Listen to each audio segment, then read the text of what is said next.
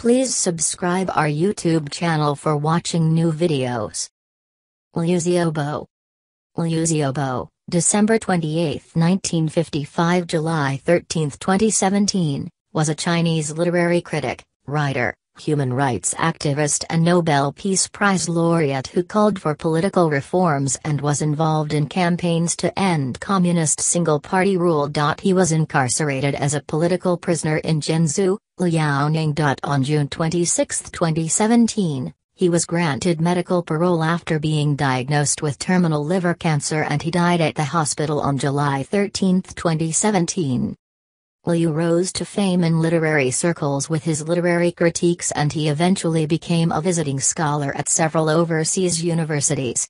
He returned to China to support the 1989 Tiananmen Square protests and was imprisoned for the first time from 1989 to 1991 and again from 1995 to 1996 and he was imprisoned for the third time from 1996 to 1999 for his involvement in the democracy and human rights movement. He served as the president of the Independent Chinese Pen Center, from 2003 to 2007.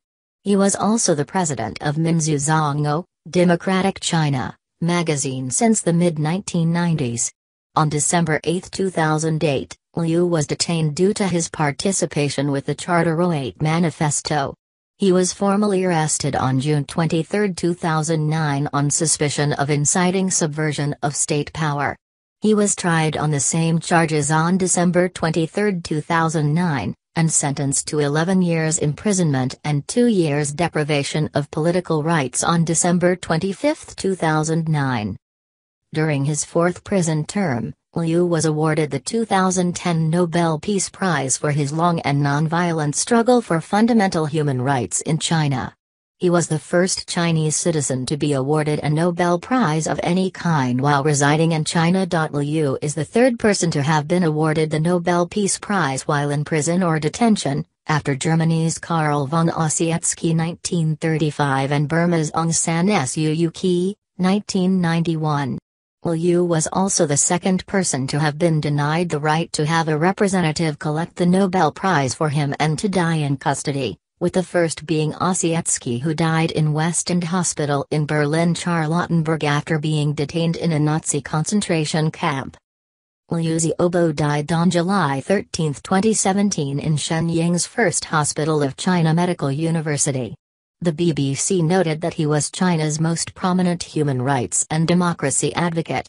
Germany, UK, France, the United States, Taiwan and the UN High Commissioner for Human Rights Zeid al-Hussein, called for the People's Republic of China to allow Liu Xiaobo's wife Liu Xia to travel and leave the country if she wish. Nobel Peace Prize laureate Liu Xiaobo, China's most prominent political prisoner, died Thursday at a hospital in the country's northeast, officials said. He was 61. Liu had been hospitalized for advanced liver cancer diagnosed in prison in May. In an online announcement, the Judicial Bureau of the city of Shenyang said he died of multiple organ failure.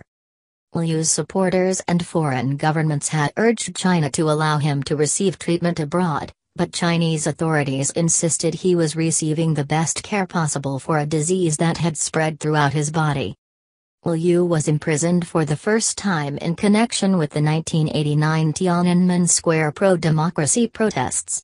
He was awarded the Nobel Peace Prize in 2010 while serving his fourth and final prison sentence, for inciting subversion by advocating sweeping political reforms and greater human rights in China. S. Thanks for watching this video. Please subscribe our YouTube channel for watching new videos.